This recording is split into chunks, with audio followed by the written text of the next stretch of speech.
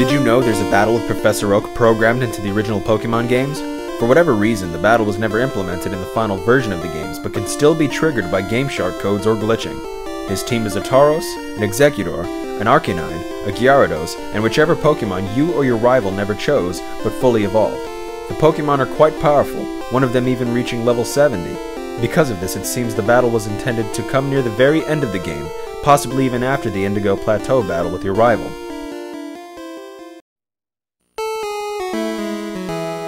Speaking of hidden code, there's an anti-piracy message in Pokemon Fire Red and Leaf Green.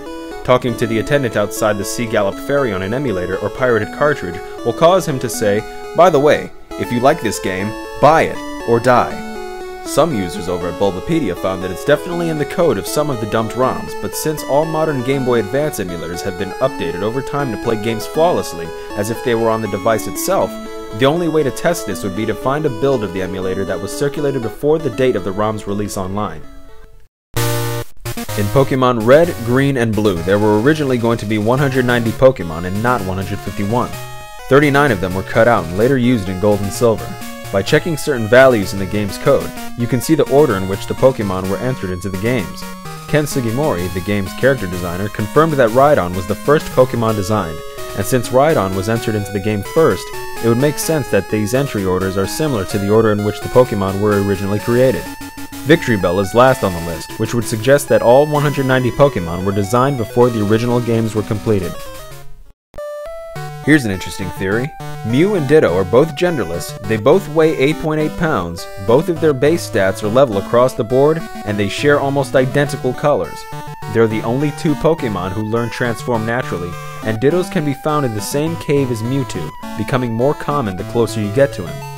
Dittos can also be found in the Pokemon Mansion on Cinnabar Island, where it's said experiments on Mew took place. These connections seem to suggest that Dittos are actually failed attempts at cloning Mew. In the pilot episode of the anime, Clefairy was intended to be Ash's starting Pokemon, but Pikachu was chosen instead in order to appeal to younger female readers and their mothers. Pikachu's popularity led to it being the mascot for the entire franchise, eventually leading to several Pikachu-themed games, including Pokemon Yellow. And while we're on the subject of Pikachu, here's one last tidbit. In Hey You Pikachu for the Nintendo 64, if you say PlayStation, Pikachu will get angry. That's all for today, but we'll be back with more Did You Know Gaming soon. So make sure you subscribe, like us on Facebook, follow us on Twitter, and check out more gaming trivia at didyouknowgaming.com.